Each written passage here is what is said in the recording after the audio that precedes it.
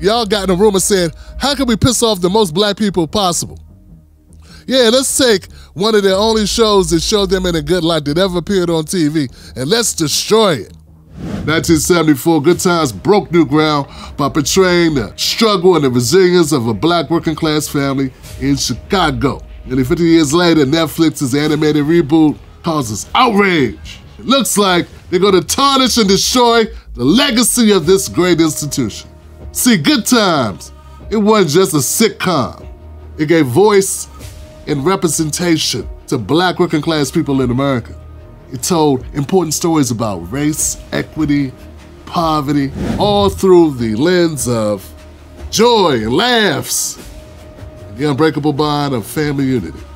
So when Netflix announced it was gonna launch this reboot, a lot of people were excited, but also kind of pensive. They didn't know what to expect. And then on March 27, when the trailer dropped, oh, people lost their minds. It was like the Fat Boys just broke up. It was like Run DMC broke up. It's like Method Man left the Wu Tang. It was bad, okay? People got pissed off. Some see this as the latest in a long line of Hollywood mishandlings of black narratives. Others say, hey, can we just get peace a chance? Regardless of what side of the fence you line up on, it's all good. We're gonna have a conversation. My name is Tim Black, and this is Calling It Out.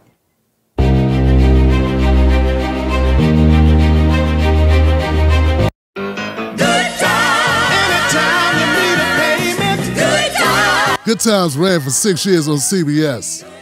From February 1974 to August 1979, created by Monte, Eric Monte, Mike Evans, developed by executive producer Norman Lear. It was television's first time for a black family of two parents to be seen on the screen. And remember, this was just after black exploitation films, where black people were only seen as junkies, dealers, gangsters, thugs, pimps, and sex workers. So, yeah, this was a big deal. So, that's the legacy of this show. And now we get this trailer for the new reboot. It all started with my grandfather, James Evans. My job, if they ain't got that drug dealing baby under my roof no more. It's the system. They put the guns and drugs on the streets.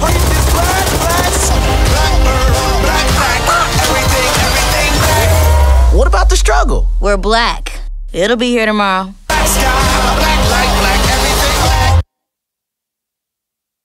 All right. First, let's look at this cast here. There's a major difference here, man. You know, originally we got the powerhouse of Esther Rolle, John Amos, Ja'Net DuBois, Ralph Carter, uh, Michael Evans, Bernadette Stanis, Jimmie Walker. Um, not pictured here, Bookman was also Johnny Brown. Uh, Janet Jackson's out in this picture. But there was, it's not just these, the main cast members. There was also an amazing group of people that came on, black actors, famous black actors that came on be part of the ensemble. And now we have the voice actors, the voice acting extravaganza of uh, Yvette Nicole Brown, who's who I got a lot of issues with. Marsai Martin, Marsai Martin, that was easy. Uh, Jay Pharoah, pictured here, and JB Smoove. This looks like a hot mess. It just does. It looks like something, this has no connection at all to the original Good Times, other than by name and by Norman Lear in the arrogance of wanting to put this out and switch it up. You know, and and once again, like and and, and just looking at Norman Lear's previous work and just knowing the history of what happened with Eric Monte that, you know, him and Mike Evans put so much work into the creations of these sitcoms, and Norman Lear took all the credit and all the money. And it just seems, and, and I noticed a lot of people didn't want to call that out when Norman Lear, Norman Lear was here. Now that he's gone, I don't know if people are having that conversation. But I noticed that there are people that are unwilling to even say that this trailer looks like garbage, because it does. Particularly when you say, when you're comparing it to the original Good Times. I mean, the original Good Times had people with ethics. We had Esther Rolle and John Amos saying, hey, we want positive black characters. We want a, a script that is for adults that encourages, inspires, motivates, and educates the viewers, not some watered down BS buffoonery. And they went toe to toe with the with the writers and with the executive producers on that, and it cost John Amos his job. And Esther Rolle even quit a year later after John Amos left, after he was let go, because he was unrelenting. He was un- he was unwilling to compromise his values, his ethics to work on this product. Now we juxtapose that type of tenacity, that type of uh, commitment to the art form and to not just the art form, but to your people and the legacy of what you're putting out into the world. That's what John Amos was on. That's what Esther Rolle was on. You juxtapose that with this. What is this? Look, I know we haven't seen a single episode yet, so who knows exactly where this is going to go. But I'm saying that trailer is supposed to be the best of the best. It's supposed to be you putting your best foot forward. And if this is their best foot forward, I'm scared to see what's going to come next. I mean, you know, I mean, this is horrible. I mean, first of all, the, the, the, whole premise of the show is that this is a continuation. Like, these are the grandkids of uh, Florida and James. And it's like, hold on now. They got out of the hood. They left the hood. So now you're saying they're back in the hood. The last of the projects that they're back in the hood. Oh, this is great.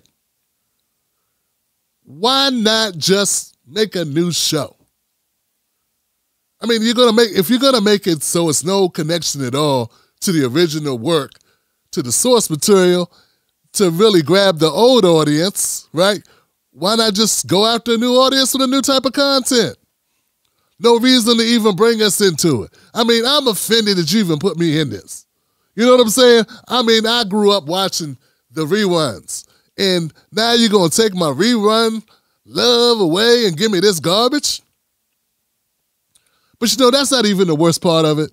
The worst part of it is there are people that I, I see that are afraid to say that this is some hard garbage. They don't even want to say it. I guess they're looking for job opportunities with Netflix. Some of the reviews on TikTok were horrible, like just scared to say, garbage. You can always tell which ones are getting perks from Netflix and who's not, which is part of the problem. See, Esther Rolle, John Amos, they were willing to lose their jobs. John lost his job going to bat for black people, saying, No, I'm not going to let you make me be a buffoon. I don't want this show to turn into some buffoonery. I don't want this show to turn into a stereotype. I want it to be what we envision it to be. And if it's going to be like that, I can't be here. And they were like, Okay, you got to go there. And then Esther Rolle was like, Well, if you let go of James, then I got to go. So she quit. And that's when, that's when the ratings really hit the tank. See, because once you take away, once you break up the family, you broke up the family. You know what I'm saying? You broke up what made it special, which is a an, an apt comparison of really what's going on in America right now. So, and now we got people that aren't willing to take any type of risk. They aren't any type, they are they are not willing to go through any type of hardship, to take less money, they, throw their, all their ethics and all their integrity out the window just for an opportunity for clicks and views or just for an opportunity to get free tickets to go see the show. And it's just horrible what we got. You know, it's horrible. And that's why we are where we are because we can't even, in the artistic realm, say this is not the art we want. The fact that this has been greenlighted with a baby selling dope. Y'all wouldn't have no white kids selling dope. You realize what you're putting out into the world? You realize that? Now, once again, I haven't seen a single episode, but do I have to? Just knowing that Dalvin is a baby drug dealer? It's like Seth MacFarlane and Norman Lear. And I had to say, man, I got to put you there, Steph. You want the money? You, you lined up with him. It seemed like y'all like, y'all got in a room and said, how can we piss off the most black people possible? Yeah, let's take one of the only shows that showed them in a good light that ever appeared on TV and let's destroy it. Let's take a crap on it and feed it back to them in the worst form imaginable. That's like that's what happened here. And I'm not I'm not cool with it at all, man. I'm not cool with it at all. Now the the real series, the, the full series comes out April 12th. So look, we can double back and we can take another look at it. But folks, and look, and I'm and I'm prepared to if I'm wrong to be wrong and say, hey, I was wrong. This turned out to be totally opposite of what the trailer was. I mean, goodness gracious, thank goodness for that. My bad Netflix, my bad Seth, my bad Steph. You know exactly what you was doing. Norman Lear, rest in peace. But as of right now, I doubt very highly that I'm gonna have any type of walking back of anything. I'm gonna have to do any type of making up or have to, you know, go another way with this at all. I believe I'm spot on in my commentary. And that is, this is horrible. It's unnecessary. And it's a slap in the face for people who relish it. People, some of you folks are young, you're new to the game, you don't realize. Man, we had black exploitation films in the 70s. I didn't grow up on that. This is what I know. Good Times was a big difference in what was being put out there for black folks. Without Good Times, I don't think you get the Cosby Show. You get what I'm saying? This is shameful, is what it is. It goes to show you they don't they don't care about us and that they can do anything to our image. I, I don't think Norman Lear would have put out an All in the Family with Meathead and Archie Bunker, whatever, are strippers or somebody dancing for dollars and making it rain and making it clap. And, and, and uh, the white girl selling drugs. Like, I don't think he would have did that. So he'd be like, that can't happen. That's not white culture. See?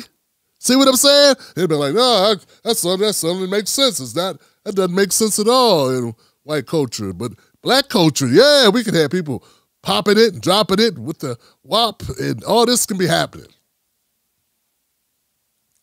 And I know we got some people out here who are just not astute.